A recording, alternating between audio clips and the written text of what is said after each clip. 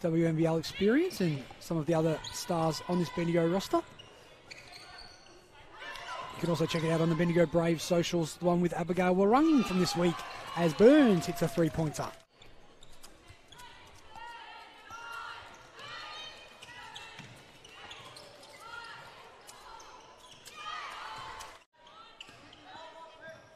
Ball swings back, shot clock down to six.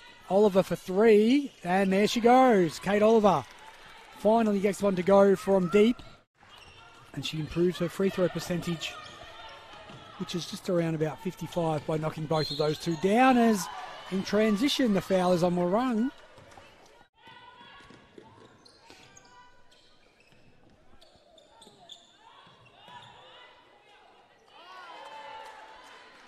Wilson with five points tonight, well below her average, but four rebounds, eight assists, make it, oh, not nine assists, as Burns with the block. Transition, and she triples the team's points for the quarter, as well as Burns of the other five, as well as Mahadi and Oliver for the Eagles at the moment, as Bendigo all run away from the person with the ball. Little dribble rub gets swung back around now to Burrows.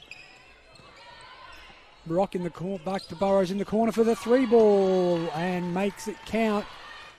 17 point lead for the champions IGA Braves women. Drive off the backboard is good. Cassidy McLean one dribble long. Rebound by Diamond Valley. They've got time to get one up if they like. From half court, off the backboard, and down it goes for Imogen Rock to end the half for Diamond Valley.